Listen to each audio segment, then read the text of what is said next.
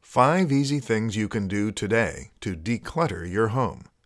If your house is currently a cluttered mess, you might find it surprising just how stressful that can be. When your home is in chaos, it means you don't have a safe retreat anymore where you can relax and feel at ease. It means you can't kick back and unwind because the plates on the side in the kitchen need washing and there's dirty laundry all over the floor. You've been stressed all day at work and now you've come home to a house that is equally as stressful. The good news is that it isn't hard to declutter your home, not when you know these five easy tricks. 1. Automate. The first thing we're going to do is automate some of the jobs that you find you don't have time for. One easy way to do that is with a dishwasher, which will allow you to stop doing the dishes yourself and to instead let a machine take care of it. Another example is a robotic vacuum cleaner. Or how about a waste disposal unit? 2. Outsource. Even better than automating work around your house is to outsource it. Give it to someone else. One way you could do this might be to hire a cleaner. Another might be to use a mail delivery service. Sound indulgent or lazy?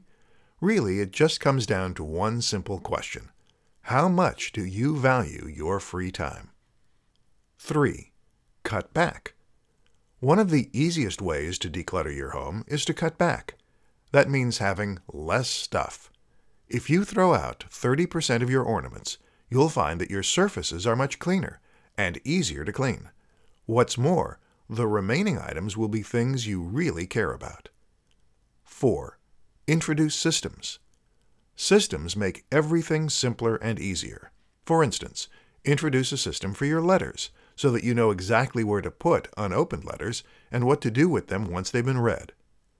5. Have one sacred room. Our last tip is to have one room in your home that is sacred. That means no matter what state the rest of your home gets into, you should have one room that is always going to be calm and well organized. To do this, you need to make some firm rules. No food in that room, for instance. This way, you'll always have at least one place that you can go to escape and unwind. For more free educational content, visit learnforfree.biz.